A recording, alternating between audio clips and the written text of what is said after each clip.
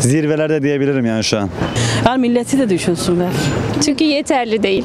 Bir taraftan aldı bir taraftan verdi. Merhabalar sevgili Nar TV izleyicileri.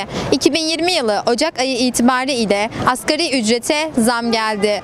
Kimi bu zamı yeterli buluyor, kimi ise yetersiz buluyor. Peki Kahramanmaraş halkı asgari ücrete gelen zam hakkında neler düşünüyor? Buyurun birlikte görelim. Düşüncelerim gayet güzel bir zam verildi. Devlet ve hükümetimiz gereken görüşmeyi sağladıktan sonra e, sendikalarımızla beraber yeterince güzel zamlar aldık yani. Şimdi bu ülkede asgari ücret açlık sınırının altında diye hitapta bulunan arkadaşlarımız var. Kesinlikle katılmıyorum. Asgari ücret şu an olması gereken yerde.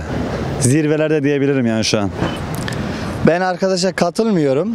Asgari ücrete gelen zam yani %15 tamam belki bir nebze insanlar biraz rahatlatıyor ama asgari ücrete gelen zamla birlikte yani gelen zamı hiçbir şey anlaşılmıyor zamdan yani. Doğalgaza zam, elektriğe zam, her şeye zam. Valla şu anda çok kötü durumda yani. 3000 lira olması lazım. Yani insanların durumu şu anda demeye gerek yok aslında. Ortada. Ya şimdi şöyle sen asgari ücretine zam vermeden önce yapacağın zamı yaptın. Bir taraftan aldı bir taraftan verdi. Şimdi askeri ücrete verdi 6 lira. Öte taraftan 20 lira gene geri çekti. Değişen bir şey olmadı ki. Hatta zararımız oldu. Keşke o za- e, bu zamı vermeyeydi.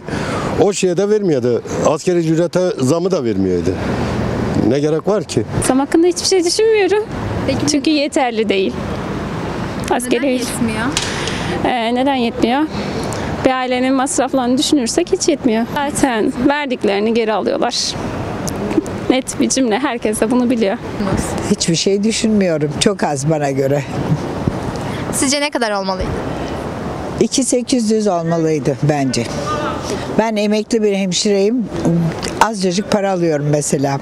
Fazla olmasını isterim çünkü bana da faydası var. Ne düşünün derken devlet ne gerekirse onu veriyor. Ha eskiye göre alacağımız da ucuz mu? O da ucuz. Bunu da kabul etmek lazım. Ha bu kadar askeri zamın içinde devlet bu kadar da yatırım yapıp bu kadar savunma sanayiye şeye para harcıysa güzel bir şey. Hiç iyi şeyler düşünmüyorum. Her şey ortada. Anlatmaya gerek yok. Siz memnun musunuz? Ee, tabii ki de memnun değilim. Ben de işveren bir insanım. Ee, geçirmesi gerçekten hiç kolay değil. Hele ki şu ortamda. Ee, yazık. İnanın kafamı yatağa koyduğum zaman, başımı yastığa koyduğum zaman ben de bir işveren olarak acaba onlar nasıl geçiniyor? Acaba onların yakıtları var mı? Acaba çocukların her istediklerini alabiliyorlar mı diye vicdanen ben dahi rahatsız oluyorum. İstediğimiz gibi olmadı yani. Yani en az 500 olmalıydı yani. Üç- Çok az bence asgari ücret. İşçiye gerekeni versinler. Hani e, devlet de milletin yani sırtından geçiniyor demektir.